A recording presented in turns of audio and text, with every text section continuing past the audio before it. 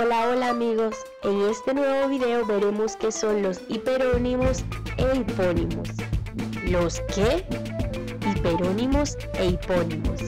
Hiperónimos es una palabra cuyo significado abarca y amplía el significado de otras palabras más específicas. Veamos estos ejemplos. Banano, uvas, sandía, naranja, manzana, cerezas, fresa, pera y mango forman parte del hiperónimo de frutas, porque todas tienen en común que son frutas. Avión, tren, barco, bus forman parte del hiperónimo de medios de transporte. ¿Por qué? Porque todos son medios de transporte.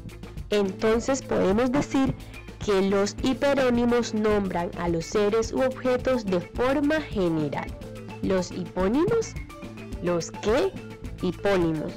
Hipónimo es una palabra cuyo significado específico está incluido en otra palabra de significado más amplio, llamada hiperónimo, que es el que acabamos de ver. Si yo tengo el hiperónimo animales, ¿qué hipónimos se podrían escribir aquí? Mm, veamos, jirafa, león, elefante, tigre. Y esto es por mencionar algunos ejemplos, porque hay muchísimos animales, gato, perro, mariposa, loro, cerdo, vaca, en fin. Todos estos hipónimos forman el hiperónimo de animales.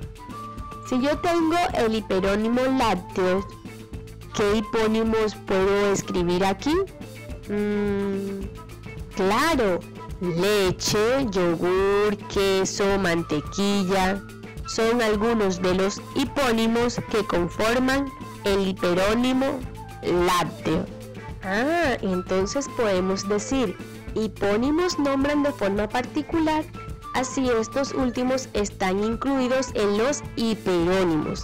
Entonces podemos resumir, los hiperónimos nombran de forma general y los hipónimos de forma particular. Espero que hayan aprendido mucho acerca de los hiperónimos e hipónimos. Bendiciones y nos vemos en el próximo video.